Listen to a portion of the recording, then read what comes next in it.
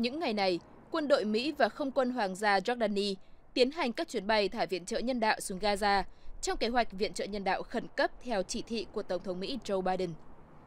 Bộ Chỉ huy Trung tâm Mỹ CENTCOM cho biết, ba máy bay vận tải quân sự C-130 đã được huy động để vận chuyển 66 kiện hàng, gồm hơn 38.000 suất ăn cho người dân ở Gaza. Số hàng viện trợ này được thả xuống Tây Nam Gaza, dọc theo bờ biển Địa Trung Hải của giá đất này để người dân có thể dễ dàng tiếp cận. Ông Biden cho rằng viện trợ đưa tới Gaza gần như không đủ và Mỹ sẽ tiếp tục tận dụng mọi cơ hội để đưa thêm viện trợ. Ngoài Mỹ, hàng loạt quốc gia khác như UAE và Ai Cập, Israel, Pháp, Bỉ và nhiều nước khác cũng đã nhiều lần thả thực phẩm xuống giải Gaza. Một số quan chức Mỹ bày tỏ hoài nghi về hiệu quả của phương pháp này, cho rằng hàng hóa có thể rơi vào tay nhóm vũ trang Hamas thay vì người dân, do lực lượng Mỹ không có binh sĩ tại thực địa để kiểm soát tiếp nhận hàng.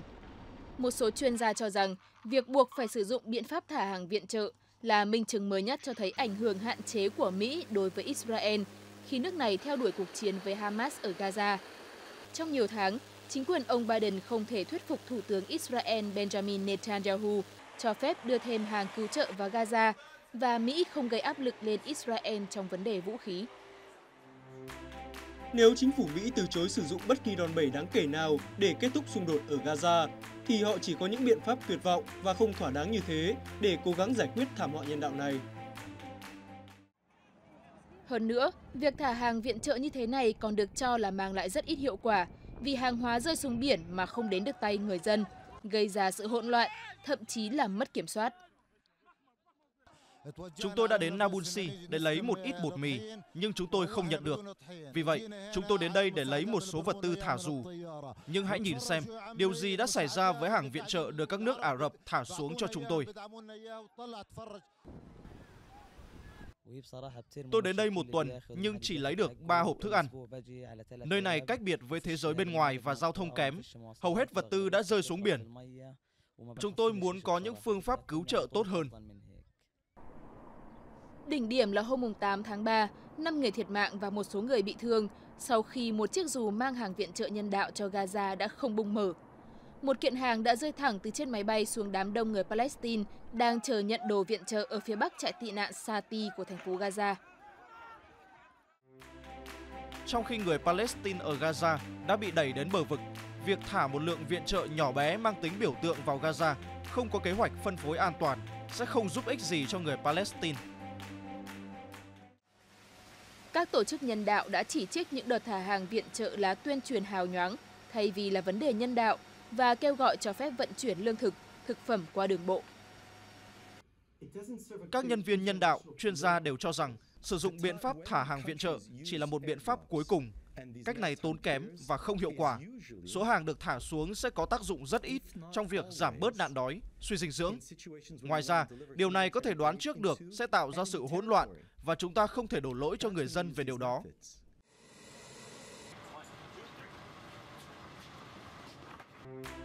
Các đợt thả hàng viện trợ chỉ mang tính hình thức nhằm xoa dịu người dân trong nước. Điều thực sự cần phải làm là mở thêm nhiều con đường cho nhiều xe tải đi vào Gaza hơn mỗi ngày.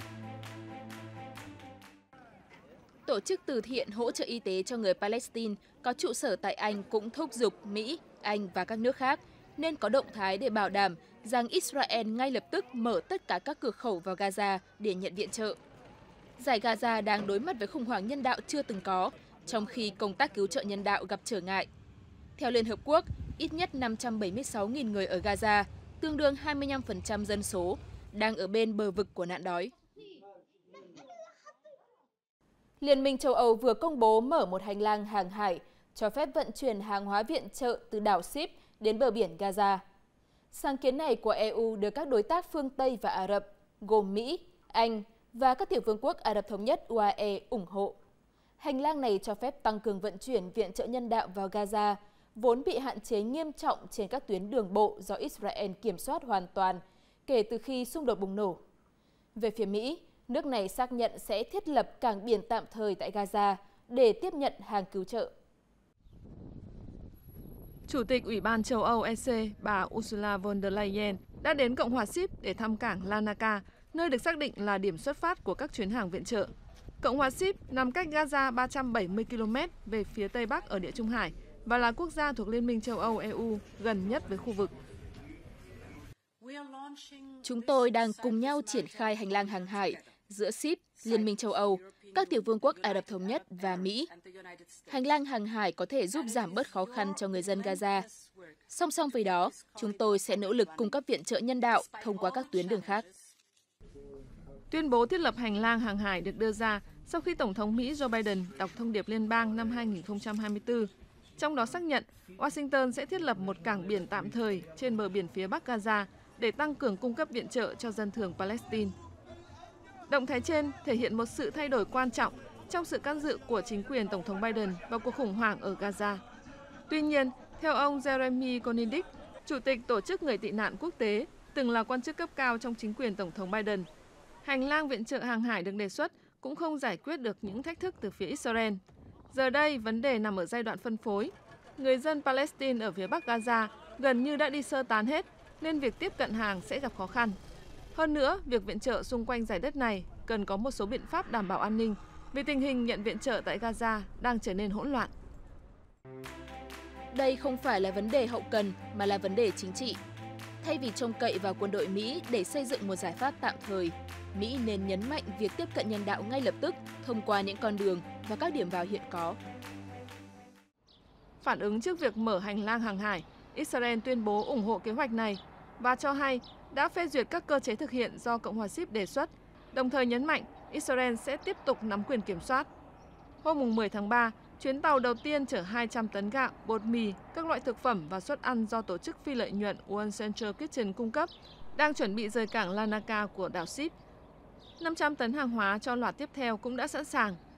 Tuy nhiên, vẫn chưa rõ khi nào hàng viện trợ tới được với người dân Gaza, khi mà việc thiết lập cảng biển tạm thời mới chỉ ở giai đoạn đầu Người phát ngôn Lầu Năm Góc Patrick Ryder cho biết, việc xây dựng có thể mất tới 60 ngày để hoàn thành, với sự tham gia của khoảng 1.000 binh sĩ.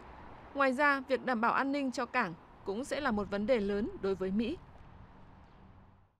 Nhiều tổ chức viện trợ quốc tế cho rằng, việc vận chuyển viện trợ bằng đường biển và đường hàng không không thể thay thế cho viện trợ đường bộ, bởi viện trợ bằng đường bộ dễ hơn, nhanh hơn và chi phí thấp hơn. Các hoạt động mở tuyến đường trên không và trên biển để đưa viện trợ vào Gaza chỉ làm sao nhãng dư luận trước sự thật rằng Mỹ không thể thuyết phục Israel mở lại các tuyến đường bộ sẵn có.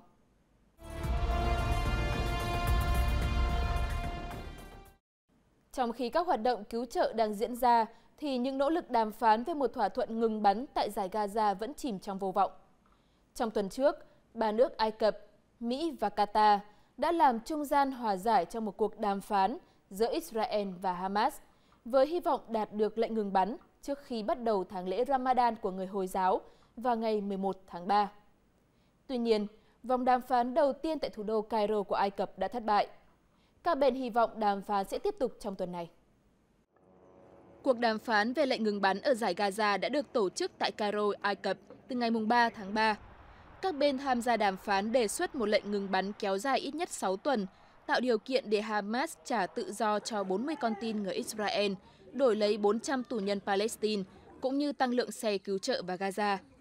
Các bên kỳ vọng lệnh ngừng bắn sẽ được thực hiện tối thiểu trong tuần đầu tiên của tháng lễ Ramadan, bắt đầu từ ngày 11 tháng 3. Tuy nhiên, vòng đàm phán này không đạt được bước đột phá nào. Cả Israel và Hamas đều đổ lỗi cho nhau về việc không thể đạt được thỏa thuận. Đại diện chính phủ Israel đã quyết định không tham gia vòng đàm phán này vào phút chót, với lý do Hamas không chịu cung cấp danh sách các con tin còn sống. Còn phái đoàn của Hamas đã rời bàn đàm phán tại Cairo, Ai Cập sau khi bày tỏ sự không hài lòng với phản ứng của Israel trước các yêu cầu của họ. Hamas lý giải việc không thể cung cấp danh sách các con tin còn sống cho Israel là vì việc tập hợp danh sách con tin trong bối cảnh chiến sự tiếp diễn và các con tin không được quản lý tập trung là bất khả kháng. Các nguồn tin thân cận cho biết Vòng đàm phán tiếp theo sẽ diễn ra trong tuần này, song không nêu rõ thời gian cụ thể. Ngoại trưởng Mỹ Antony Blinken cho biết Hamas là bên quyết định việc có hay không có lệnh ngừng bắn để cho phép viện trợ nhân đạo vào Gaza và bắt đầu đàm phán về một giải pháp bền vững cho xung đột. Vấn đề nằm ở Hamas. Họ sẽ quyết định có hay không có một hiệp định ngừng bắn có lợi cho tất cả mọi người. Chúng tôi đang nỗ lực hết sức để giải quyết vấn đề này không nghi ngờ gì rằng việc đạt được lệnh ngừng bắn này cùng với việc thả con tin sẽ mang lại lợi ích sâu sắc cho tất cả những bên liên quan.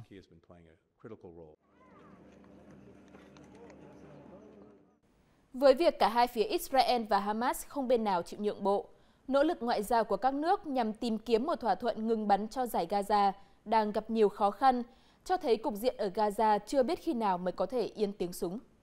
Chỉ khi đạt được một thỏa thuận ngừng bắn vĩnh viễn thì các hoạt động cứu trợ nhân đạo cho Gaza mới có thể được triển khai thực chất và hiệu quả, giúp cho người dân Palestine thoát khỏi nguy cơ bị đe dọa bởi nạn đói. Quý vị thân mến, bản tin Hình ra thế giới hôm nay xin tạm dừng tại đây. Cảm ơn quý khán giả đã quan tâm theo dõi và hẹn gặp lại.